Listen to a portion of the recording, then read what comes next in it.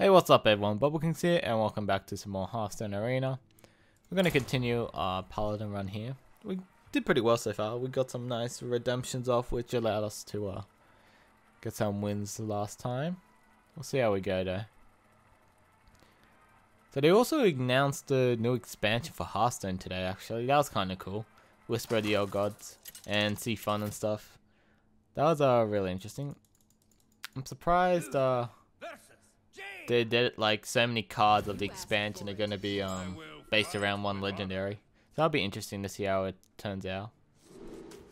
Okay, what we're gonna do here? Should we keep Warhorse Trainer? I think. Um, yeah, we'll get rid of the other ones. They're really high mana cost. I'm only keeping the Warhorse Trainer in case we don't get anything at all. Because then we can um hero power on turn two and then get a two one on turn three if we need to. Okay, well, this is not looking good. Especially since they got such an early drop. Hmm. We do have Keeper of Uldaman though. Um, Uldaman though. So we can play this on turn 3. And then turn into a 3-3 after we attack something.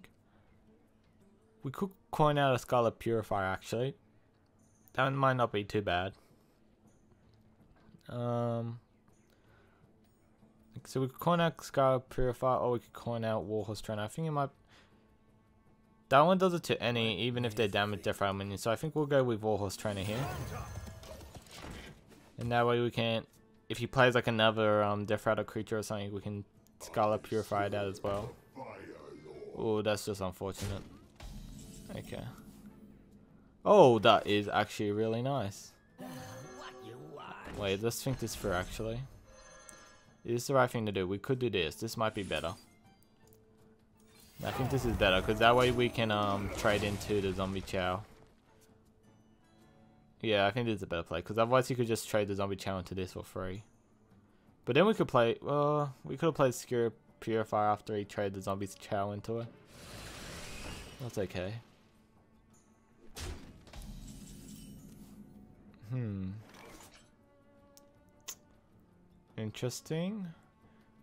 So what we could do this, but it won't kill either of them. So I think what we're gonna do is go like this, this, and then uh, buff this. That seems right. Okay. So now if he trades his shredder into any of it, oh jeez, that's bad. Okay, that worked. That worked out okay for us. That worked out really well for us actually, because now we can trade into the guy for free pretty much. Hmm, actually, yeah, we can trade into it for free like this. Is that what we want to do though? I can't see really any other plays. We could play Blessing a King, but then it still dies. So I think this is the only um, play we can do. Okay, there we go. We have entered the Colosseum here, so if he starts filling up the board, we could just um, play that. Let's see. Windfury. Not too bad. Could have been worse. Okay. So this isn't too great for us. What we could do is um play Enter the Colosseum and I hope it lands on that he kills off the free four instead of the free three. Hmm. Let's try that. Oh no, the free four lived. Damn. Okay. Well, that's fine, I guess. We took out two. What did we take out? We took out a Saber and this, so what's it like, four mana? Five mana? Five or six, not too bad. We got a card advantage on it though. Oh, this is bad though. Oh god, we, we don't have anything on the board so we can't get off our... Okay. I'm gonna play Jeeves here just so I can you can try to stay on the board.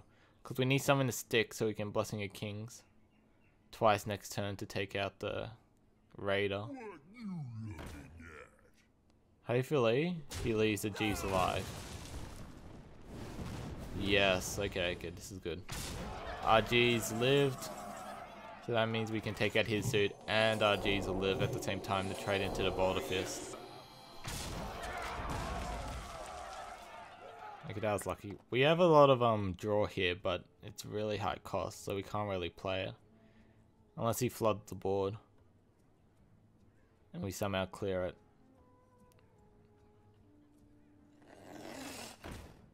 We got 18 damage if we Windfury, but he's, oh, he's gonna take it down. Demonheart. Damn. Okay, so we're gonna be on 9 now.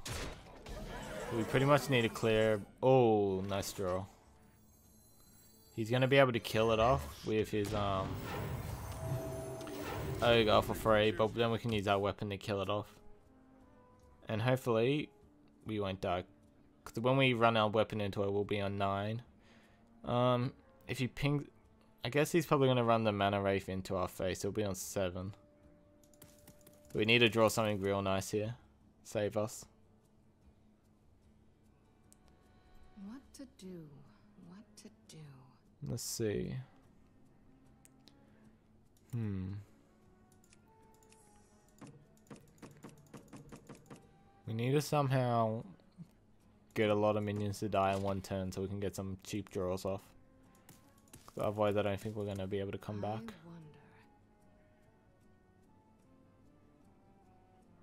Hmm. Patron? Oh jeez, that's lethal isn't it? Yeah. Oh, uh, does he have over lethal or something?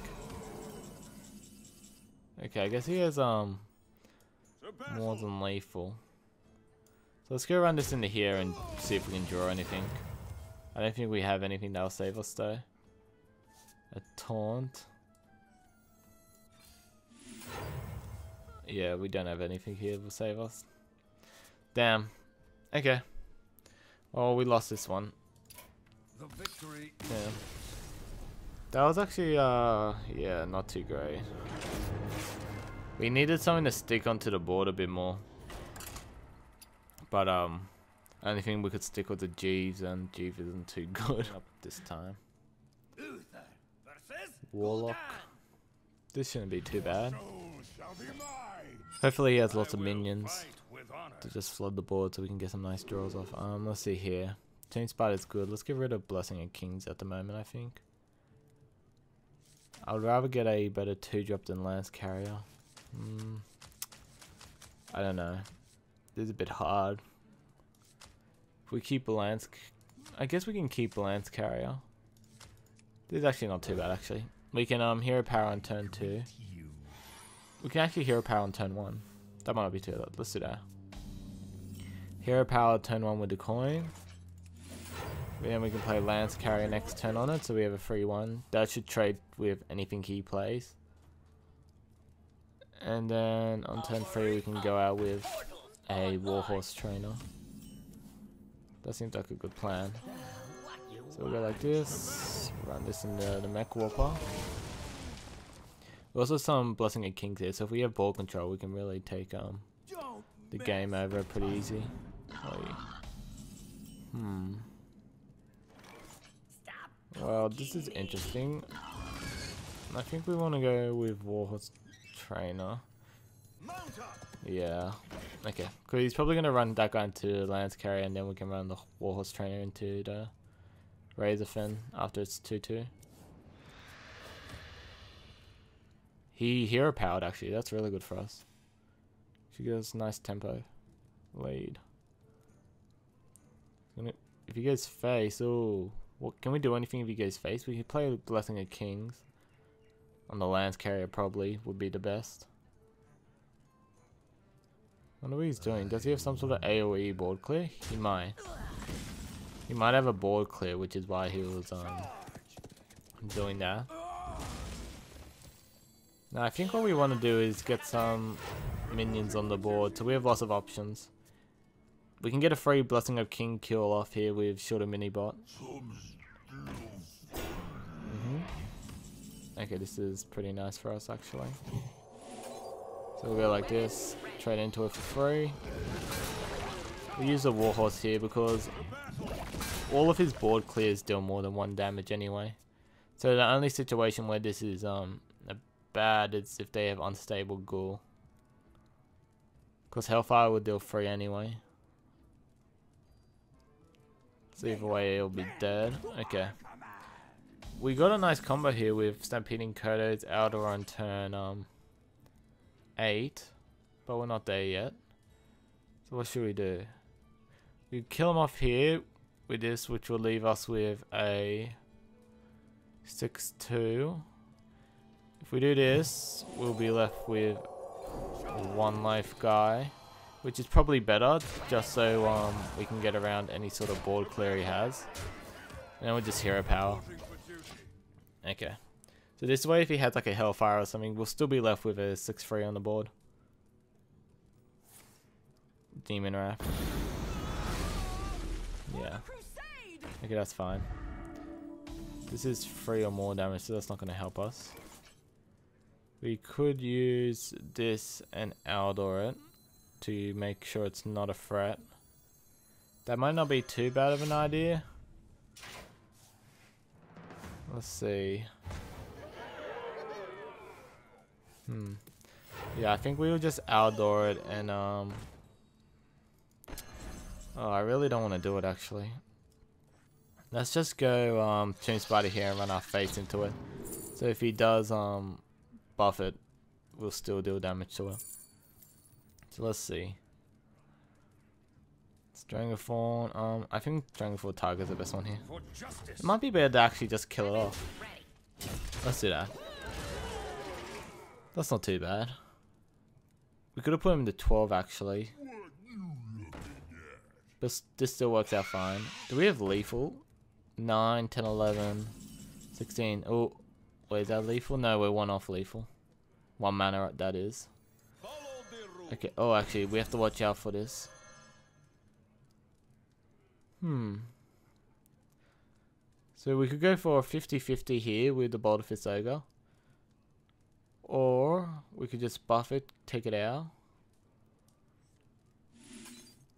Hmm. It might not be too bad to go with a 50-50 here.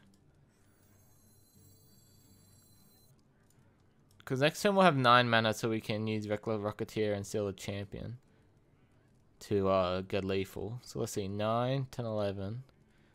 So we're on 11, that'll put him to 7. So Rocketeer and Seal the Champion will kill him off. So we might go with a 50-50 here. Let's see if we get it. Oh no, we didn't get it, that's bad. Um, okay. So should we um? Oh, let's just go face here. I think. Yeah, we'll put him into lethal range, and we can just take him out easy. Even if he trades into our guys. Yeah, I don't think there's anything that can save him here. You'll need to have like a silence and an um a heal or something. Yes, silence and Shadowflame to clear the board and like a heal. There's a taunt. Okay. That's actually pretty nice for him, but we still have lethal here. Luckily. Okay, here we go. Let's make sure we do this right. We'll go around the long way to make sure we hit his face. There we go. Cool. That we didn't go too bad. I think we made the right choice by going face there. I don't know if the we should have done the 50-50 there though. It did kind of put us in a bad situation. Like maybe we should just Aldor it and um gone for face. Yeah, that's probably the better play. Just it, go for face and play something else. Like just hero power or something if we have to. Because we left him with um three different minions that can attack on the board, which it, which could um if he had another like power overwhelming or something could have been really bad for us. Luckily, he only had one. Okay. Oh, this is really nice. Two, three, four, right there, and all really good drops. Let's keep this hand in. Unfortunately, we don't have a one drop though. Might draw into one though.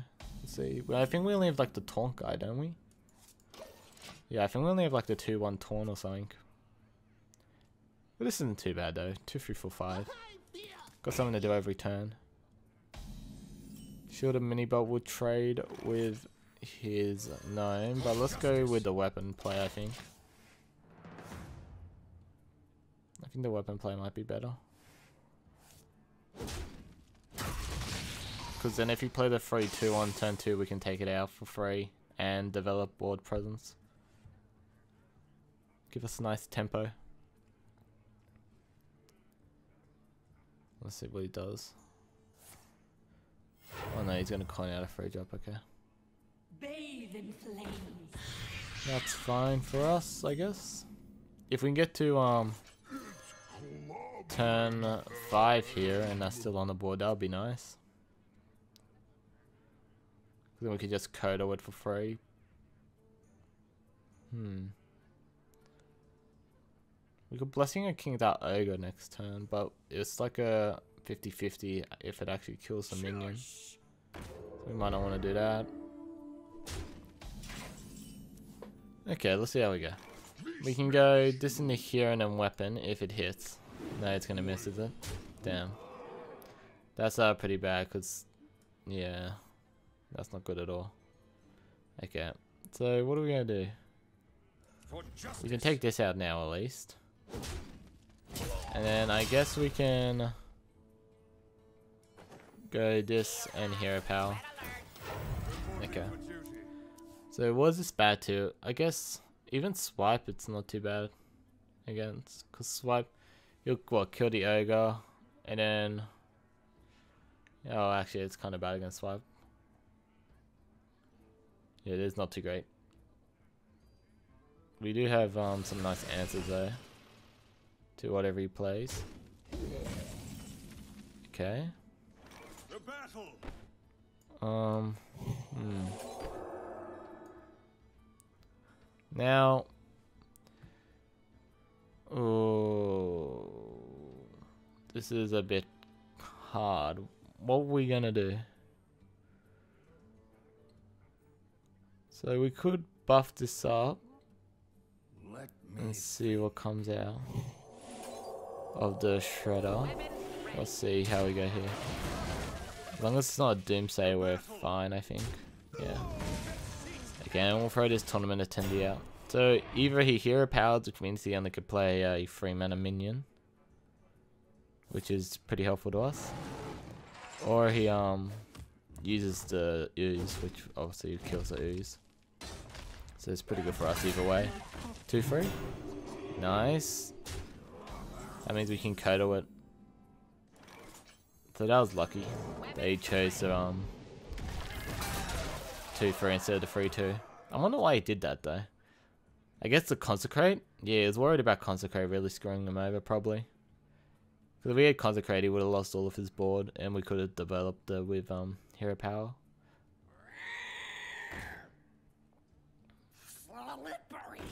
So we could Keeper of Uldaman the tail slider here. Um, tail strider, sorry. That wouldn't be too bad. But what else are we going to do this turn? We could play this and then the Purifier, but I think we'll go with the Jewel Scarab and see what we can get out of it.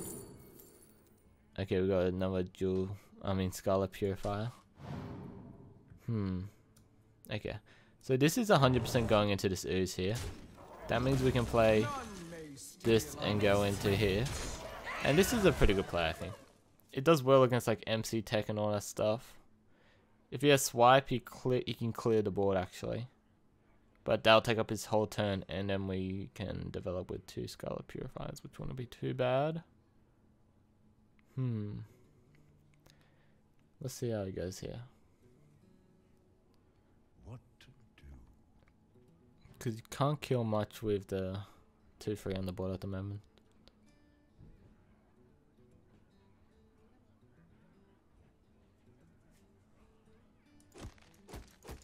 What can he do? Looks like he doesn't have too many options. He hasn't been hovering over his cards, so looks like he's really out of um, options here. We'll see though. And maybe stealth, okay. So that means he's probably going to try and keep that guy stealth. So did the target for Anubis have to go off on? No? Oh, okay, he's going to take out the 6-3 then. Interesting. Well, this works out for us, I guess. I'm a bit lucky there, I guess. With our uh, Discover there with another Scarlet Purifier. Allows us to take that out for pretty much free. I only have to use 1-1. Uh, okay. This is pretty good as well. A board state. Because we know he doesn't have a swipe. He would have used it before if he does. He doesn't have any board clear, it looks like. So all these cheap low um, health minions aren't too bad.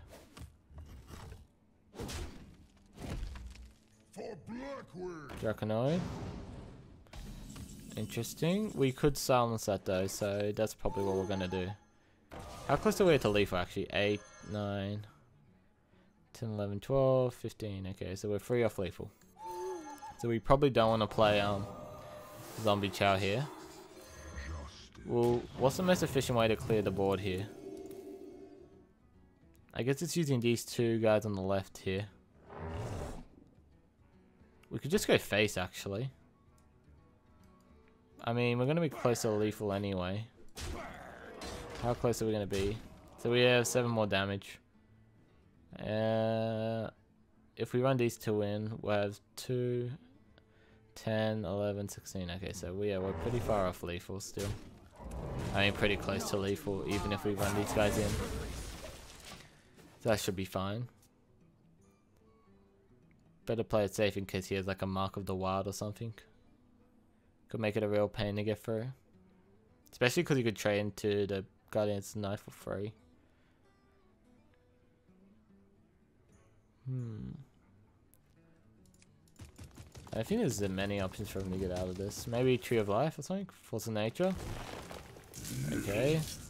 Sense. Force of Nature Savage Roar. Okay. Clear the board up. Is he just gonna go face for the lols? He could do a pretty good job of clearing the board. Take out these two, take out this. We'll have six damage. So he would live.